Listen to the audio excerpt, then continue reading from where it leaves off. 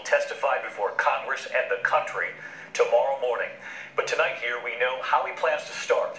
He will acknowledge that he did tell the president that he was not under investigation personally on multiple occasions.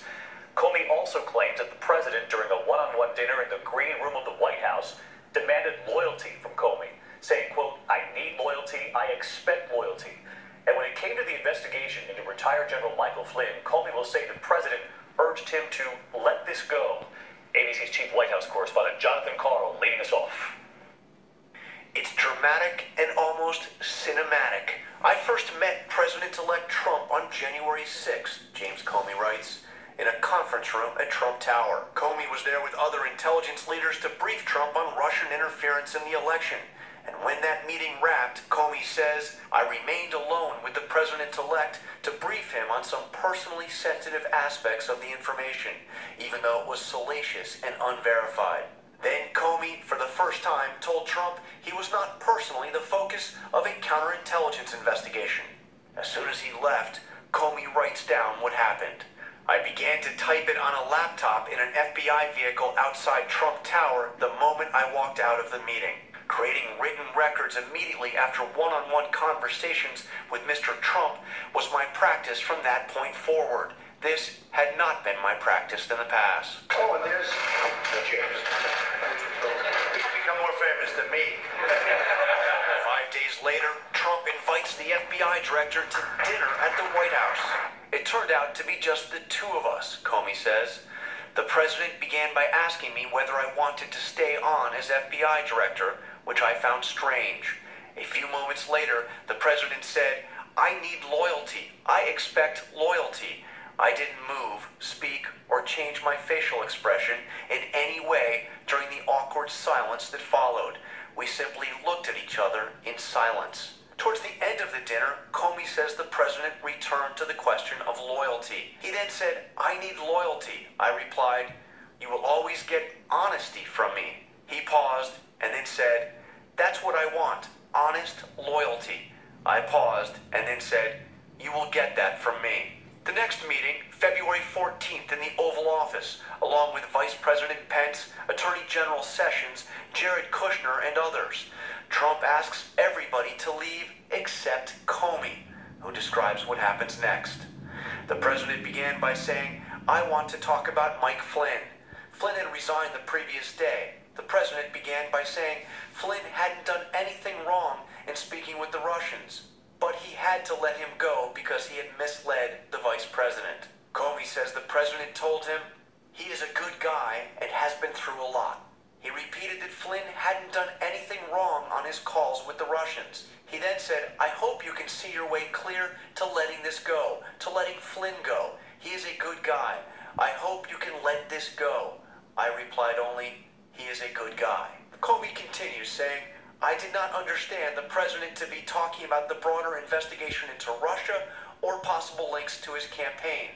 I could be wrong. Regardless, it was very concerning, given the FBI's role as an independent investigative agency. The president has denied asking Comey to drop the Flynn investigation.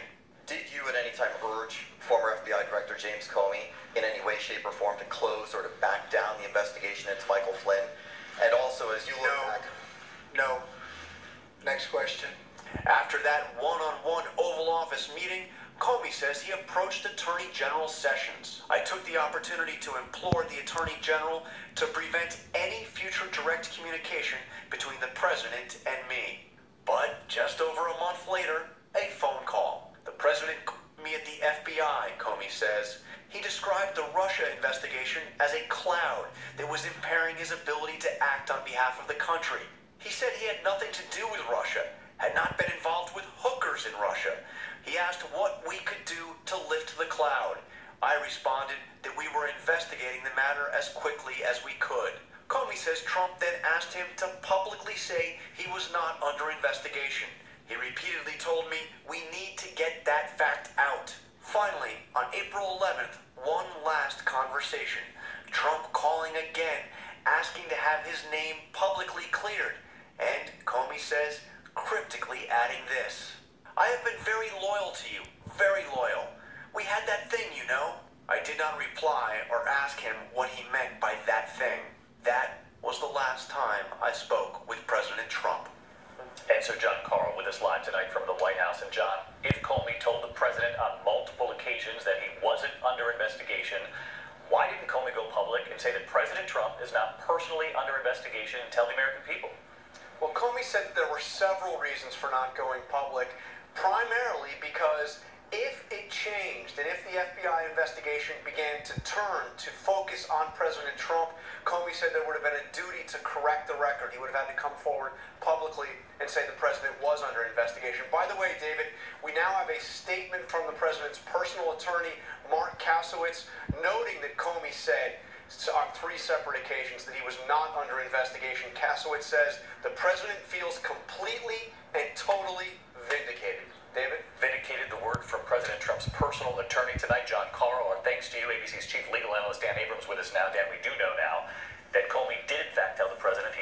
investigation personally. Comey saying in the memos that could change. But Comey also writes in the memos the president demanded loyalty, said he expects loyalty.